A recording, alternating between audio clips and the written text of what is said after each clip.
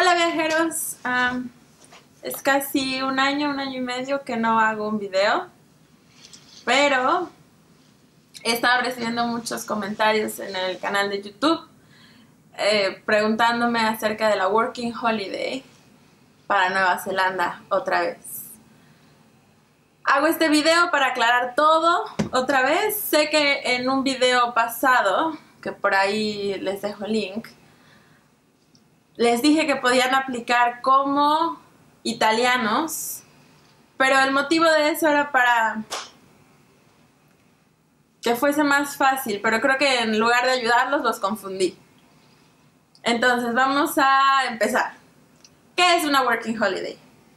La Working Holiday es una visa que se otorga a los mexicanos para que vengan a trabajar por un año en Nueva Zelanda. ¿Qué otros países ofrecen esta visa para mexicanos?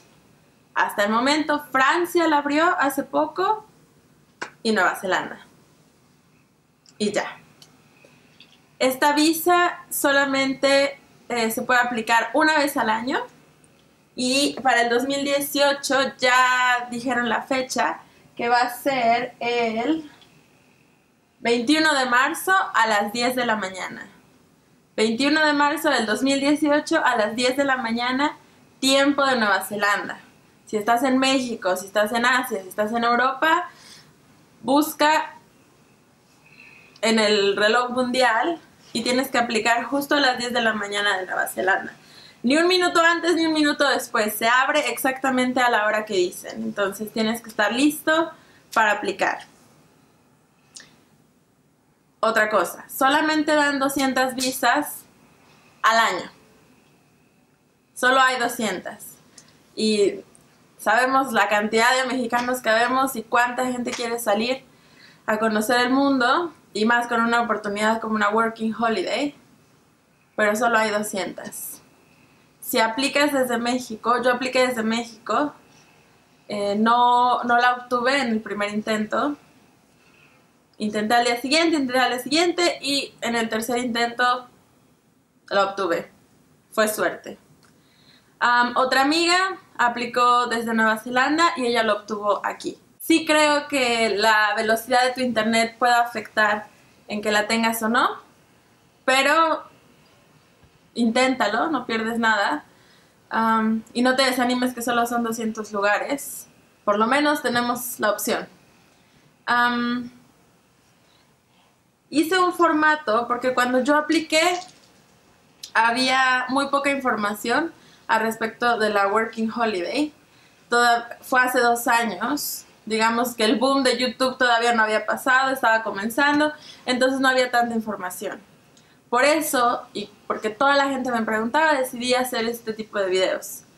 Hice un video con el formato que está en la página web.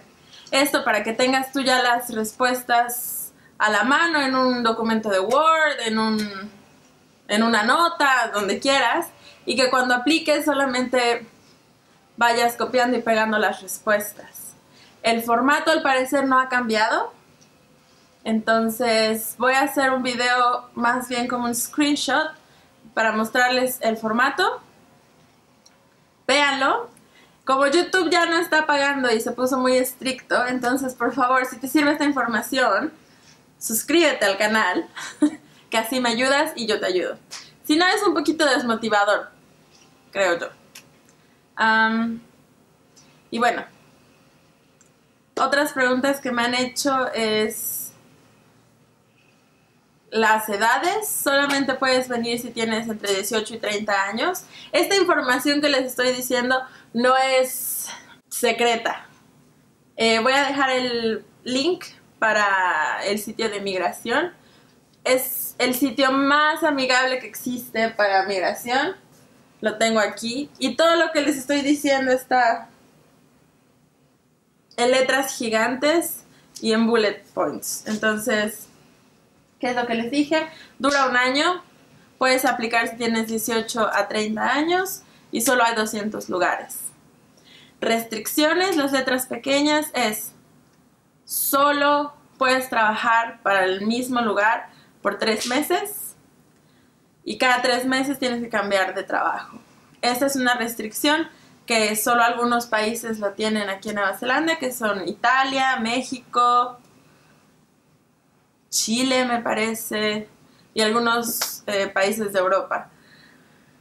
Eh, no es malo, la verdad es que nosotros hicimos todo un año con la Working Holiday y lo disfrutamos. Trabajando tres meses, nos movimos, vivimos cinco o seis meses en, en Oakland y luego hicimos, viajamos toda la isla del norte, nos mudamos a Queenstown y ahora estamos con otra visa.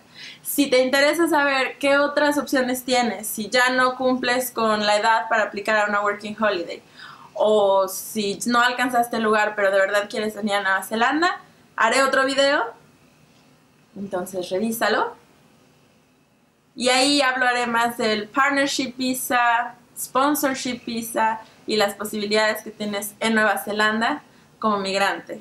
Creo que no hay más que decir, eh, lo quiero hacer muy corto. No se compliquen, es muy fácil y más que nada no, no los quiero confundir con eso de que apliquen como italianos.